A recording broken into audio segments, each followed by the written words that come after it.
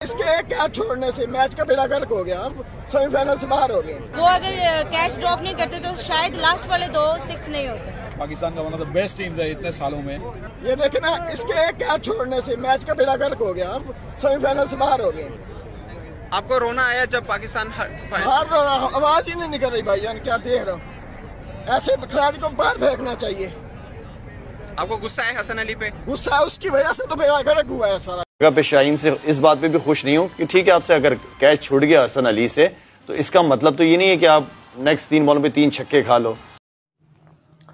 अस्सलाम आपके सामने हाज़र आलिम पाशा और आप देख रहे हैं वेल स्टूडेंट पाकिस्तान। आज आपके लिए एक नहायत ही अफसोदा बात लेकर आया हूँ, वो ये है कि पाकिस्तान का जो मैच हुआ था टी ट्वेंटी, उसमें पाकिस्तान ने बहुत अच्छी कारकर्दगी दिखाई। हम तो अच्छी कहेंगे, जो कहने वाले हैं बुरे वो कहें।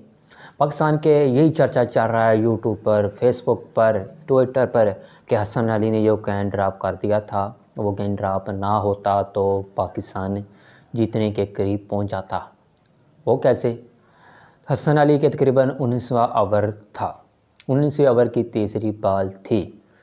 तीसरी बॉल पर जब उसने बॉल कराई तो उस वक्त उससे कैन हसन अली से छूट गया। जा रहा है, अगर हसन अली वो कैन ड्राप ना करता, उस वक्त आउट हो जाता तो पाकिस्तान मैच जीत सकता था। और हसन अली, इस इस बात पर बहुत ही चर्चा ज़्यादा ज़्यादा हो रही है। आज मैं आपको प्रूफ के साथ बताऊँगा कि पाकिस्तान कहाँ से मैच हारा और किस वजह से हारा। और किस किस खिलाड़ी ने यह कहा है कि ये किसकी गलती है, किसकी गलती है। पाकिस्तान के बहुत ही मशहूर क्रिकेट, बहुत ही खूब मशहूर क्रिकेट, शाहिद अफरीदी ने यह भी कहा, कह दिया है कि ये किसकी गलती थी? वो ये कह रहे हैं कि ये गलती शहनशाह अफरीदी की थी। अगर तीन छक्के तो लग गए थे, मगर पहले बाल तो ये है कि अगर शहनशाह अफरीदी से कैन छूट गया जैन छूट गया, अगर आप तो फिर भी बालें पड़ी थी, इतने ज़्यादा स्कोर पड़े थे, तकरीबन बीस स्कोर पड़े थे उसके बाद भी, मगर फिर शहनशाह अफरीदी ने क्या किया कि तीन लगातार छक्के खाकर अपनी टीम को जीता हुआ मैच हरा दिया। इसके ज़रिए इसकी इसकी वजह से बहुत ही हसन अली को टारगेट किया जा रहा है। मगर इन हम पाकिस्तान हैं, हम पाकिस्तान की मुकम्मल सपोर्ट करेंगे हसन अली के साथ हैं। अक्सर लोग इस तरह के टारगेट करना बंद करें। ये हमारे चैम्पियन ट्रॉफी के हीरो हैं हीरो हैं। इस तरह की वीडियो मैं आपको बताऊँगा कि ये शायद अफरीदी ने क्या कहा है।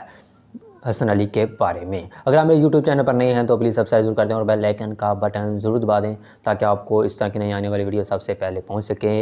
हम चलते हैं वीडियो की तरफ़। शाहीन से इस बात पे भी खुश नहीं हूँ कि ठीक है, आपसे अगर कैच छूट गया हसन अली से तो इसका मतलब तो ये नहीं है कि आप नेक्स्ट तीन बॉलों पर तीन छक्के खा लो।